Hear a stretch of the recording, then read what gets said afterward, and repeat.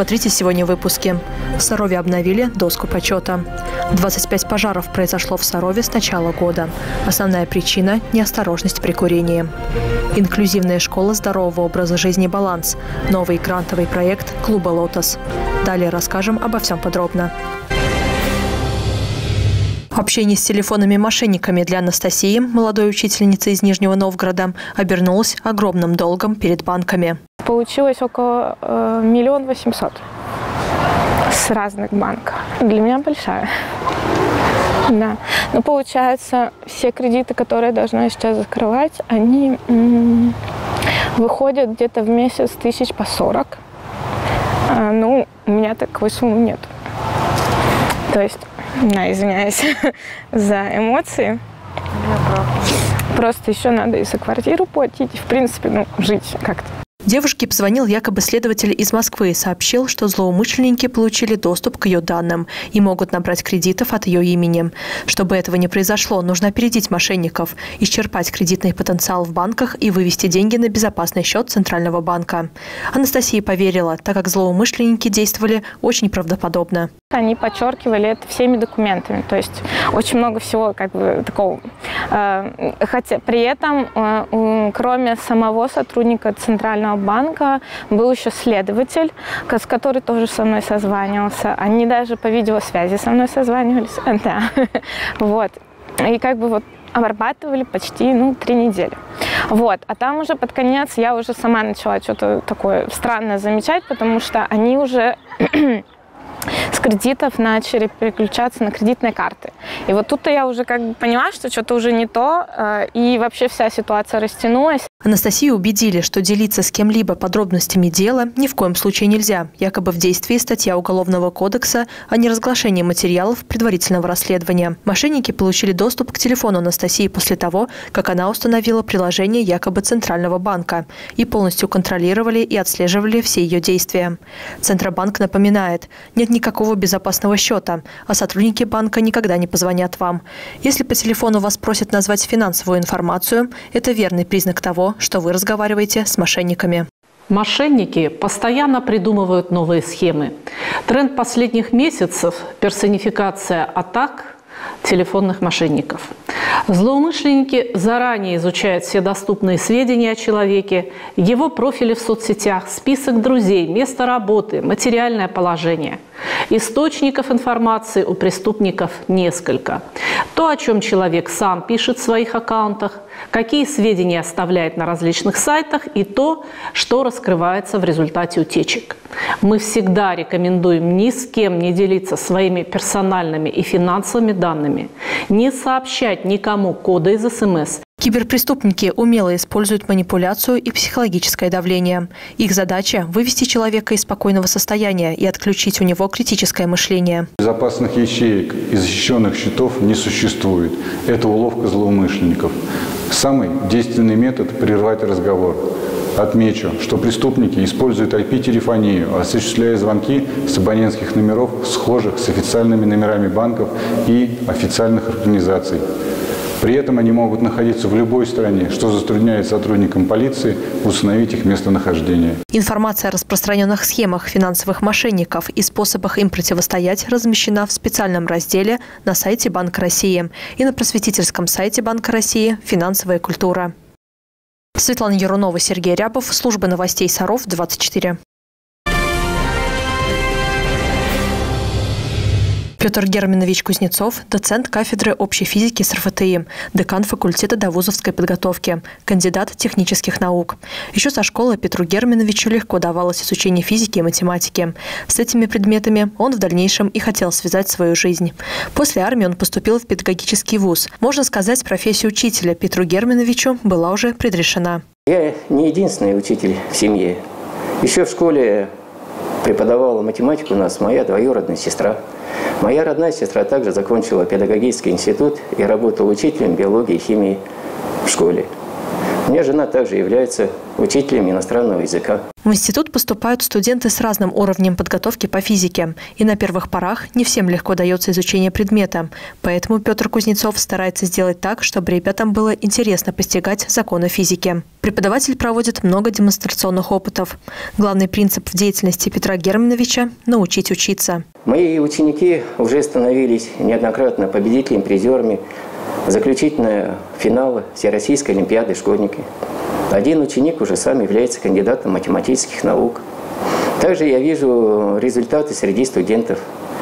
Э, мои студенты, можно так сказать, неоднократно становились призерами Всероссийской студенческой олимпиады, становились победителями и призерами одного из самых престижных конкурсов «Это я, профессионал». А Елена Клюева занимается воспитанием еще только подрастающего поколения. В студенческие годы она работала вожатым и воспитателем в лагере. Проходила практику как педагог-психолог. Поэтому найти общий язык с детьми Елене не составляет труда.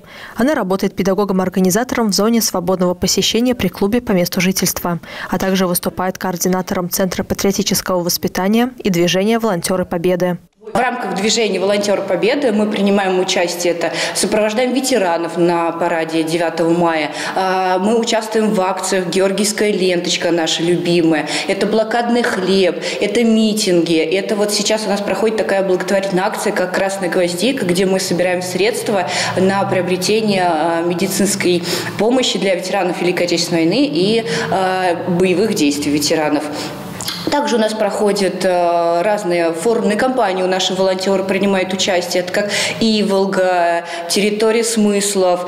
Елена Клюева вошла в топ-100 волонтеров Нижегородской области и в топ-250 конкурсного проекта «Лидеры Нижегородской области». Высокие результаты показывают и воспитанники Елены. Один из волонтеров «Победы» получила благодарственное письмо от губернатора региона.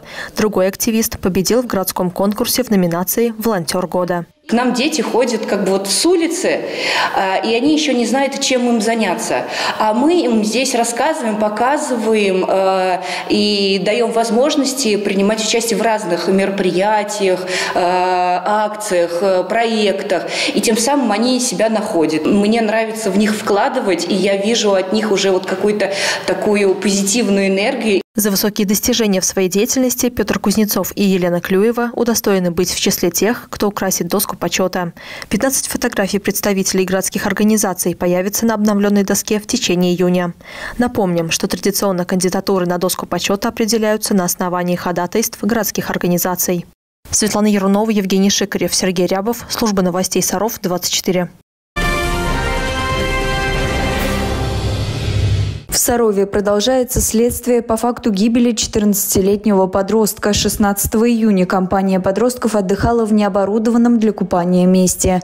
Мальчики ныряли в воду с мостика, и один из них после прыжка начал тонуть. Ему на помощь бросилась девочка, но, к сожалению, помочь не смогла.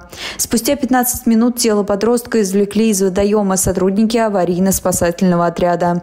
По данным регионального МЧС, за начало купального сезона на водоемах области погибло уже более более 10 человек. Основной причиной стало купание в необорудованных для этого местах. 60% утоплений происходят в нетрезвом виде, а дети и подростки нередко гибнут из-за того, что за ними плохо смотрели родители. Призываем повторно провести со своими детьми инструктаж об особой опасности при нахождении на водных объектах. Напомните им, что ни в коем случае нельзя находиться у воды одним, без присмотра. А, и э, с наступлением купального сезона в обязательном порядке используйте только специально оборудованные для этого места, где осуществляют дежурство спасатели, медицинские работники, которые в любую минуту могут оказать вам помощь. При купании запрещается заплывать за границы разрешенной зоны, подплывать к лодкам, катерам, катамаранам, нырять и долго находиться под водой, прыгать в незнакомых местах с причалов и других сооружений. За полтора-два часа перед заплывами лучше поесть легкую пищу. Если при купании свело ногу, ее необходимо распрямить силой, взявшись рукой за большой палец стопы и потянув его на себя. После прекращения судорог необходимо сменить стиль плавания, некоторое время полежать лежать на спине, массируя руками ногу, а затем медленно плыть к берегу. Если человек хлебнул воды, ему нужно приподнять голову над водой и откашляться. Энергичные движения рук и ног помогут удержать тело вертикально в воде. Уважаемые нижегородцы, выполнение данных правил позволит сохранить жизнь вам и вашим близким. Помните, ваша безопасность – это ваша ответственность. Согласно анализам Межрегионального управления номер 50 ФМБА России, неудовлетворительные результаты по микробиологическим данным показали воды из протяжки и Филипповских озер, пробы из прудов Борового и Балыковского, реки Сатис в районе лодочной станции соответствуют гигиеническим нормативам. Напоминаем, что в Сарове купальный сезон официально еще не открывали. Дарья Кузина, Евгений Шикарев, Сергей Рябов, служба новостей Саров 24. Рост числа пожаров фиксируют спасатели. За первое полугодие текущего года количество возгораний достигло 25. За этот же период прошлого года их было 22. Большинство пожаров случилось из-за непотушенных окурков. Также жители нарушали правила эксплуатации электрооборудования. Большая часть у нас случается на квартирных жилых домах, э, в частных жилых домах, ну и также на территории садоводческих некоммерческих товариществ, так как они у нас большие. Сейчас дачный огородный сезон, э, все топят бани, вот, но не все, так скажем, за ними хорошо следят. В мае серьезный пожар произошел на улице Зернова, 37 на крыше. Как рассказывает Виктор Колобков, ранее в доме производились огневые работы с целью ремонта кровли была угроза распространения по всему чердачному э, помещению. Вот. Но, так скажем, прибывшие подразделения смогли локализовать и ликвидировать пожар на, ну, на такой стадии, когда серьезные последствия были без, э, так скажем, повреждения э, жилых квартир. В основном пострадали они от пролития, вот, но огонь на них не перешел. Еще один случай в мае произошел на улице Юности, 13. На восьмом этаже вспыхнул балкон. Причиной возникновения пожара стало возгорание горючих материалов от попадания на них непотушенного окурка. Была угроза распространения на вышележащие этажи. Вот, в квартире находился ну, на момент пожара ребенок и родители. Вот, э, значит, там тоже у нас без э, травмированных, без пострадавших. Слава богу, все произошло так. Единственное, что пострадало, это имущество граждан. Недавно из-за непотушенного окурка на улице Бессарабинка, 17, загорелся мусор. В результате пожара пострадали деревянное напольное покрытие и лакокрасочное покрытие стены. Кроме того, в коридоре дома на потолке, стенах и входных дверях квартир остались следы копоти. Сотрудники МЧС просят граждан быть осторожными, следить за электроприборами, тушить окурки от сигарет и грамотно обращаться с огнем. В период лета возгораний становится больше. Ирина Вышегородцева, Евгений Шикарев, Сергей Рябов. Служба новостей Саров 24. Летом необходимо внимательно следить за состоянием собаки. Если дома нет кондиционера, в жару закройте шторы и разместите лежанку собаки в хорошо проветриваемой комнате. Не оставляйте питомца без притока воздуха. Это нужно для того, чтобы охладить животное. На пол вы можете положить влажное полотенце, чтобы собака могла на нем лежать. Убедитесь, что у животного есть доступ к свежей воде. Есть охлаждающие воротники, а, в общем, охлаждающие коврики. Очень много всего сейчас можно приобрести, слава богу. Поэтому э, даже на нашем празднике «Собака плюс я» э, французик приходил в охлаждающий пополни. То есть это все можно купить в легком доступе. Но, конечно, что немаловажно, с собакой не ходить э, на пляж, если вы пошли, потому что это вы сообразите, что сейчас мы пойдем искупать. Да это у людей бывают тепловые удары. Чего уж про собак говорить. Тем более, что они сидят у нас рядом практически на пляже, не купаясь, ничего, потому что, ну, нельзя. В жару следует пересмотреть рацион питомца. Летом собаки меньше двигаются, а значит расходуют меньше энергии. Поэтому не стоит перекармливать их. Выгуливать собаку лучше рано утром и поздно вечером. Днем выходить с хвостатым на улицу нежелательно. Понятно, что физические нагрузки противопоказаны ни в коем случае. Если же все-таки вы куда-то пошли, то, значит, э, ну, там ну, понятно, что не по солнцу, а по синьку это раз. Потом, мне тоже, когда я вижу собаку, каждый раз хочется хозяина разуть и пройтись по асфальту. То есть мы ходим в обуви, да, и не чувствуем, что асфальт э, горяченный, а собаки босиком ходят. Поэтому понятно, что плюс к тепловому вы еще и ожог у собаки получите запросто. Нельзя оставлять в миске недоеденный корм, особенно быстро портящиеся продукты. Из-за высокой температуры пища протухнет и вызовет отравление. Из-за жары у собаки может начаться линька, поэтому необходимо чаще вычесывать ее, помогая сбросить лишнюю шерсть. Если вдруг вы видите, что собака у вас э, дышит, обильно дышит, э, задыхается, даже не считая собак плоскомордых, брахицефалов, э, всех собак, значит, что первое? Во-первых, и у собаки сердечный приступ. Понятно, что можно кроволольчику накапать, это раз собаке дать. Второе, тут же ищем хотя бы где-то в заморозке мясо какое-нибудь берем мясо, кладем собаке на голову, чтобы было. И, то есть собаку нужно охладить. Понятно, что опять же мочим мы простынку и тоже кидаем собаку. Ну и хватаем ее и едем в ветлечебницу. Будьте внимательны к состоянию собаки в жаркие летние дни. Если вы заметили, что питомец не реагирует на команды, часто останавливается или много лежит, у него учащенное и затрудненное дыхание, слизистые оболочки ротовой полости приобрели бледный синюшный оттенок или началась рвота, то необходимо срочно оказать первую помощь. Берегите своих четвероногих. Ирина Вышегородцева, Евгений Шикарев, Сергей Рябов. Служба новостей Саров 24. Сделать спорт своей ежедневной привычкой, научиться готовить вкусно и полезно, познакомиться с новыми друзьями, приобрести новые навыки и хобби. Все это про новый проект «Инклюзивная школа здорового образа жизни «Баланс». Екатерина Никанорова, руководитель клуба «Лотос», второй раз победила в фонде президентских грантов. И теперь в Сарове будет такое пространство для детей и молодежи с ОВЗ инвалидностью, где они смогут приобщиться к здоровому образу жизни. Ребята будут не только изучать, э, каким образом организуется процесс э, приготовления тех или иных блюд согласно правилам правильного питания, но и будут заниматься спортом.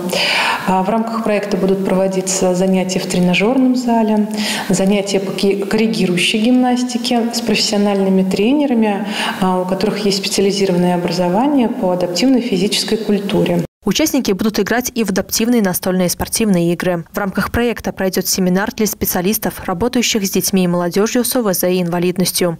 В город приедут психологи из Ростовской области, Нижнего Новгорода, которые расскажут о новых тенденциях, современных технологиях в работе. Также пройдет большой онлайн-конкурс по кулинарии для участников из Нижегородской области. Проект «Инклюзивная школа здорового образа жизни «Баланс» вырос из кулинарных мастер-классов участников клуба «Лотос» с Татьяной Прониной, которая учила ребят ребят готовить различные простые и полезные блюда.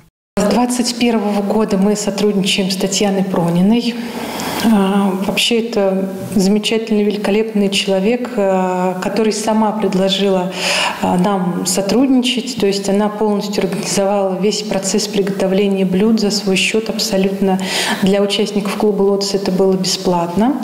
И мы с ней сотрудничали на протяжении последних трех лет. Мы выиграли тоже с ней региональный грант. У нас был «Инклюзивная кухня про вкус». В рамках проекта издали каталог рецептов тех блюд, которые ребята готовили. В новом проекте участники продолжат сотрудничать с Татьяной Прониной. Сейчас для занятий предстоит закупить необходимое оборудование, инвентарь, специальную форму, фартуки и колпаки. Также в проекте будут проходить семейные пятницы. Участники проекта готовят вместе со своими родителями. А, это мы сделали для того, чтобы у родителей была возможность убедиться в том, что дети у них очень самостоятельные. А, и опять же, процесс приготовления а, в таком семейном кругу, он всегда сближает, как и отношения, например, налаживаются и улучшаются как внутри одной семьи, так и например, происходит сближение еще с другими семьями. Для участников пройдет цикл психологических тренингов, направленных на снятие психоэмоционального напряжения. Ключевым событием проекта станет городской инклюзивный фестиваль здорового образа жизни. Все занятия стартуют с сентября. Присоединиться к ним еще можно. Для записи звоните по телефону 99 112. Светлана Юрунова, Евгений Шикарев, Сергей Рябов. Служба новостей Саров, 24. Лето – пора отдыха и шашлыков. Многие выезжают за город. Но не все знают, что в жаркий период нужно быть особенно внимательными. Разжигать огонь в специально установленных местах, топить баню под присмотром и всегда тщательно тушить окурки сигарет. В Сарове установлен четвертый класс пожароопасности. Спасатели рекомендуют горожанам не посещать леса и тем более не разжигать там костры. У нас э, проводятся выходные праздники, ну и по будням э, рейды э, совместно с другими э, силовыми структурами, которые выявляют вот как раз нарушителей. Штрафы сейчас большие, вот, не нужно портить отдых себе и, так скажем, финансовое положение свое. Вот, штрафы в пожароопасный период от 10 тысяч э, до 20 тысяч на граждан, на юридических лиц э, еще больше. После отдыха на природе необходимо убрать за собой мусор. Он может загореться от воздействия солнечных лучей. Разводить костер можно только на своих участках и на тех территориях, которые не граничат с сельскохозяйственными землями. Пищу приготавливать можно, но нужно это делать аккуратно и безопасно. То есть, если это частное домовладение, соблюдать определенные расстояния до жилых э, строений, зданий и так далее, э, смотреть, чтобы ветром э, угли никуда у нас не разлетались. Что касаемо природы, то, соответственно, если это происходит на природе, соответственно, там должны быть все меры предосторожности. Сотрудники МЧС рекомендуют саровчанам быть бдительными в жаркую погоду и напоминать, что возгорание может произойти за секунду. От нас с вами зависит благополучие города. В городском музее саровчане могут увидеть уникальную вещь – родословное древо преподобного Серафима Саровского. Составил его ведущий специалист Музея ядерного оружия, историк Валентин Александрович Степашкин. Биография отца Серафима интересовала его давно. С этого началась исследовательская деятельность, сбор информации, работа с архивными документами в Курске и Москве. В процессе работы Валентин Александрович нашел информацию о предках святого. Выяснилось, что род Серафима Саровского пошел от курского купца Ивана. С этого момента Валентин Степашкин Степашкин решил составить генеалогическое древо преподобного. Работа с архивными документами и с первоисточниками э, длилась очень долго, не один год. И, естественно, приходилось выезжать по несколько раз в архивы, работать э, с документами. И вот к 2011 году материал сложился таким образом, что вот э, э мы решили с директором музея вот, города Сарова, что необходимо такое древо э, вот, изобразить в художественном плане. Вместе с художником-реставратором разработали проект. И теперь древо Серафима Саровского дополняет экспозицию об истории монастыря городского музея. Валентину Степашкину удалось расширить количество родственников святого до 160 человек. Изначально было их известно только 37. В процессе исследования были сделаны и новые открытия. Саровский историк нашел неизвестного до сих пор племянника Михаила и узнал, как на самом деле звали бабушку преподобного Серафима. Бабушка преподобного была э, Федосия Наумовна, обычно во всех жительных э, вот, литературах, э, литературных источниках обозначена. А когда вот я изучал эти документы вот, архивные, то прочитал, что она оказывается не Наумовна, а Максимовна. То есть вот неправильное прочтение вот, отчества ну, послужило к тому, что долгое время бабушка был совершенно чужой человек. Составить свое генеалогическое древо может каждый человек. Начать исследование стоит с беседы с родственниками, расспросить про их воспоминания, о том, что они знают и чем могут поделиться.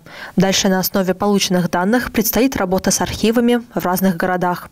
Специалисты говорят, что составить свою родословную можно на 300 лет вглубь. И даже если в роду не было дворян, найти своих предков все равно возможно. Начинается поиск информации о родственниках, сообщения со своими родственниками, разбора домашнего архива, то есть это свидетельства о рождении, браке, смерти, различные открытки, блокноты, письма. Дальше человек запрашивает необходимые документы в ЗАГС с 1925 года и до нашего времени документы хранятся в ЗАГСе, а до 2025 года документы хранятся в архивах. У кого предки жили в Москве и Московской области, тем можно воспользоваться оцифрованным московским архивом. В поисковике нужно вбить фамилию, имя, место жительства. Немногие знают, что пехота ополчения для войны с Наполеоном в 1812 году формировалась в городе Арзамасе. В его рядах было около 20 тысяч человек, в том числе эскадрон кавалерии, легкая батарея. Ополчение под командованием графа Грузинского дошло до Гамбурга и штурмовало город. Проект «Дорога героев» 1812 года руководитель военно-исторического клуба победителей Вячеслав Лопашов защитил на уровне города. Молодежные, студенческие, патриотические объединения пройдут по пути исследования формирования Нижегородского ополчения, сформированного в Арзамасе пеший марш по следам как раз этого ополчения, по дороге. Ну, первый этап его, он рассчитан на три года, что мы с вот этого соборной площади мы стартуем, соберем своих военно-исторических клубов, студентов, при, пригласим поучаствовать и жителей Арзамаса, Нижегородской области, тоже вот студенческие военно-спортивные клубы, военно-исторические, патриотические, всевозможные. Большая группа одним днем пройдет первые 20 километров по следам ополчения от Арзамаса в сторону села Абрамова. В пути будут делать причалы с легкими перекусами. К пешему маршу, который запланирован на 15 сентября, готовятся серьезно. Шьют знамя, готовят форму и другие необходимые вещи. Это будут, во-первых, привлечены и сами дети. Во-вторых, они больше узнают о своих же собственных земляках, узнают. Ну и немножечко пройдут по дороге, немножечко поняв, что все-таки даже 20 километров в день – это эгегей. Ну, в смысле, это достаточно сложно. 15 сентября пройдет первый этап пешего марша. В последующие года ребята пройдут еще несколько отрезков пути по территории региона по примерному пути ополчения. Проект «Дорога героев» 1812 года отправили на конкурс «Росмолодежь». Планирует подать его и на «Росатом». Период летних каникул Центральная городская библиотека Маяковского по традиции готовит разнообразную и обширную программу для детей. Чтобы лето прошло интересно и с пользой, в библиотеке уже не первый год проводят ряд интерактивных мероприятий в рамках программы «Смарт-каникулы не школа». На них с удовольствием приходят группы из пришкольных лагерей. Цель наших э, мероприятий – это привлечь интерес к книге, к чтению, организовать нескучный досуг наших горожан, наших ребят. Э, те дети, которые отдыхают в пришкольных лагерях, приходят к нам в библиотеку и могут посещать мероприятия разной направленности. Есть мероприятия патриотической направленности, есть мероприятия, которые направлены на то, чтобы узнать что-то об искусстве. Тематика встреч в Маяковке самая разная. Например, ребята побывали на мероприятии под названием «Робинзонада. Как выжить в летнем лесу». Ребята узнали, какие знания и навыки нужны, если остался один на один с лесом, как себя вести и что делать, получили памятки постарались на этом мероприятии обговорить с детьми, какие же навыки могут пригодиться для того, чтобы не потеряться в летнем лесу, или если вдруг такое случилось, то есть э, что нужно делать для того, чтобы ну, скажем так, благополучно выйти из данной ситуации. Э, ребятам очень понравилось э, это мероприятие. Они с удовольствием отвечали на вопросы, э, продумывали, как можно в той или иной ситуации поступить. Все мероприятия «Смарт-каникул не школа» проходят в интерактивных игровых форматах. Присоединиться к встречам могут все желающие. Следить за афишей можно на сайте Маяковки и на сайте Арт-Саров. На «Смарт-каникулы» можно записать и организованные группы. Для этого звоните по телефону 9 94 06. За прошлую неделю сотрудники госавтоинспекции зарегистрировали два ДТП с материальным ущербом. В одном ДТП пострадал человек. 12 июня вечером автомобиль ехал к торговой точке по пешеходной дорожке парка Зернова и наехал на пешехода. Пострадавшего врача осмотрели и отпустили домой. Мужчина двигался к торговой точке забрать оборудование. Э, у него было разрешение для осуществления торговли. Он двигался.